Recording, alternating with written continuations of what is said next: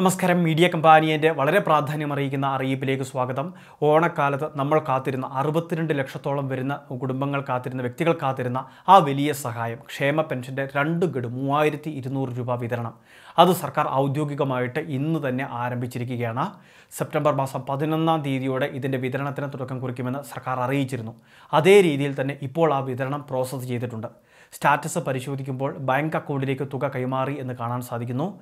പല ഗുണഭോക്താക്കൾക്കും അല്പം മുൻപ് ആനുകൂല്യം ക്രെഡിറ്റ് ആയി തുടങ്ങിയിട്ടുണ്ട്.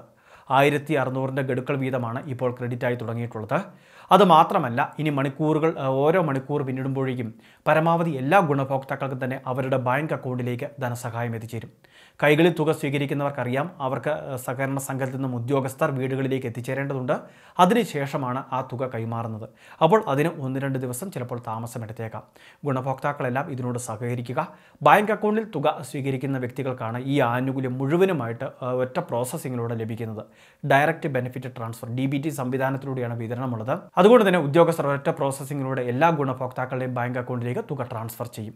ഇനി ഈ ആനുകൂല്യത്തിൽ കുറച്ചൊക്കെ കുറവ് വന്നിട്ടുള്ളവരുണ്ട്. നമുക്കറിയാം കേന്ദ്ര സർക്കാരിന്റെ പെൻഷൻ വിഹിതമാണ് ബാക്കിയുള്ളത്. അതും ലഭിക്കാനുള്ളവർ വിഷമിക്കേണ്ട ആവശ്യമൊന്നുമില്ല. അവർക്കും ഒരാഴ്ചക്കുള്ളിൽ തന്നെ ആനുകൂല്യം അക്കൗണ്ടിലേക്ക് ക്രെഡിറ്റ് ആവും.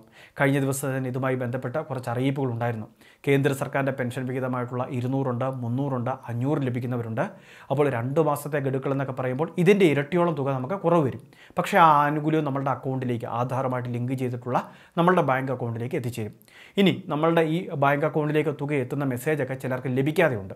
അപ്പോൾ അങ്ങനെയുള്ളവർ വിഷമിക്കേണ്ട ആവശ്യമില്ല. നമുക്ക് നമ്മുടെ ബാങ്കിലെ അതായത് കൃത്യമായിട്ട് അക്കൗണ്ട് ബാലൻസ് ഒന്ന് പരിശോധിച്ചാൽ മതി. മിസ്ഡ് കോൾ നമ്പർ ഉണ്ടാകും ബാലൻസ് അറിയുന്നതിന് വേണ്ടി. അതിലേക്ക് ഒരു മിസ്ഡ് കോൾ ചെയ്താൽ മതി രജിസ്റ്റർ ചെയ്തിട്ടുള്ള മൊബൈൽ നമ്പറിൽ നിന്നും. അപ്പോൾ നമുക്ക് ഏറ്റവും പുതിയ ബാലൻസ് അറിയുന്നതിന് വേണ്ടി സാധിക്കുന്നതാണ്. ഇനി ഇപ്പോൾ ചിലർക്കൊന്നും തുക അക്കൗണ്ടിലേക്ക് ലഭിച്ച് കാണില്ല. പക്ഷേ വിഷമിക്കേണ്ട ആവശ്യമില്ല. എല്ലാ പ്രാവശ്യവും അങ്ങനെയാണ്. ചിലപ്പോൾ മണിക്കൂറുകളുടെ വ്യത്യാസത്തിലാണ് പല അക്കൗണ്ടിലേക്കും തുക ട്രാൻസ്ഫർ ചെയ്യുന്നത്. പക്ഷേ വിതരണം ഔദ്യോഗികമായിട്ട് ആരംഭിച്ചു.